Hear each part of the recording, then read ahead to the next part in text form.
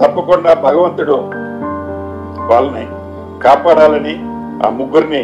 ఎందుకంటే life jackets ఉన్నారు కాబట్టి ఏమీ జరగొద్దని మనస్ఫూర్తిగా కోరుకుంటున్నాను.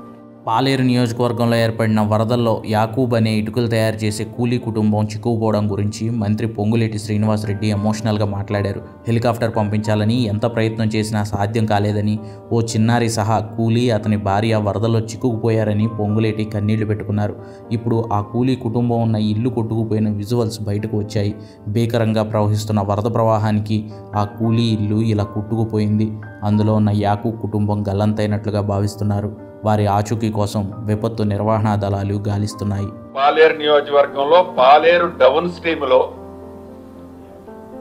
యాకూబ్ అనే ఒక నిరుపేద సిమెంట్ బ్రిక్స్ చేసుకుంటాడు.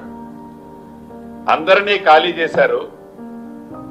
ఆ యాకూబు తన తను తన భార్య తన కొడుకు.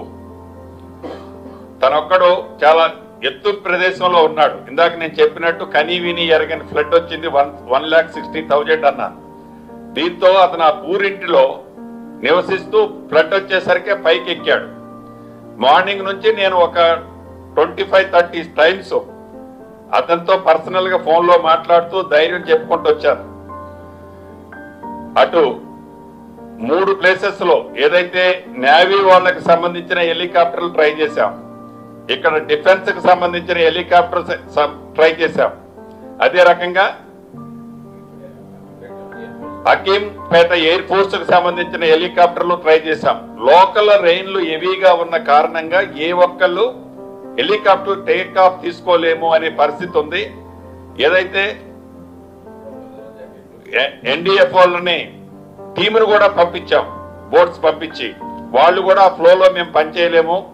అని అక్కడ నుంచి వాళ్ళు బ్యాక్ అయ్యి ఇంకొక ప్రదేశానికి వెళ్ళారు.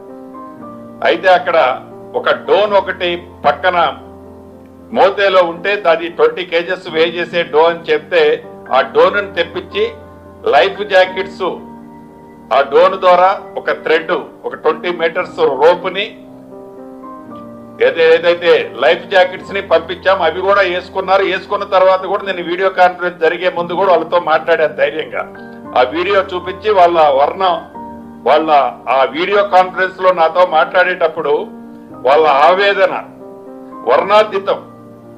అంటే చావు చనిపోబోతున్నాను అనేది ఆ తల్లి నాతో మాట్లాడి ఆ ఘోష ఎప్పుడు నాకు కనిపిస్తుంది ఇప్పుడే ఆ గోడ కూలిపోయిందట. టూ మినిట్స్ ముందు. చాలా